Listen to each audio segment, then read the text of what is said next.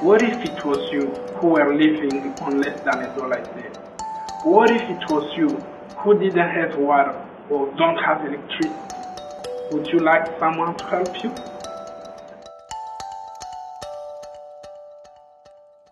Engineers Without Borders is such a compelling cause because engineers build the foundations of society. The mission of Engineers Without Borders is to partner with communities in developing countries to help them provide drinking water, uh, power, and some of their basic needs. Bechtel's vision says that we must uh, participate in the lives of those people uh, in the communities where we live and work.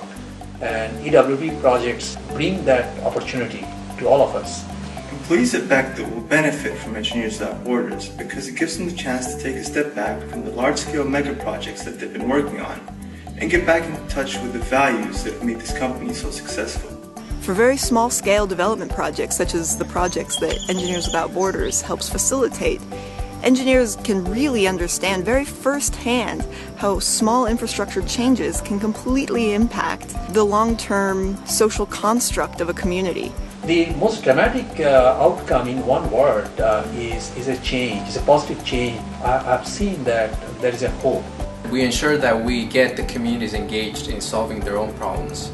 Uh, what Engineers Without Borders doesn't want to do is to go in there and provide solutions without the community's input. We always want to make sure that we are addressing what the community needs by brainstorming with them. When we got to the community of Lumwana West in Zambia, the community members and the students from the village all came out to the highway and they paraded us into the village while they sang. It was the most welcoming experience I think I've ever had in my entire life. Employees, they benefit greatly from this volunteering effort. They will learn as much as they will be teaching others. The work I've done with Engineers Without Borders has helped develop my approach to problem solving thinking with the end in mind and reinforcing the value of a holistic approach. I'm able to improve my leadership skills, my communication skills, and also my technical skills. Individuals are leading design teams, they're leading travel teams, they're responsible for coordinating many different aspects of the EWB project. Um, it exposes you to a different, a different working environment. Um, if you go out into the field, it pushes you out of your comfort zone. You really learn about a lot about yourself as a person. Engineers Without Borders is a perfect training ground.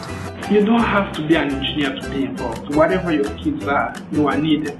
Be right on the ground building some of these projects from start to finish. Engineer Without Borders helps me to value my engineering skills and how much it can save the life of people and at the end of the day, it makes me a better engineer. It's also sort of refueled my passion for being an engineer.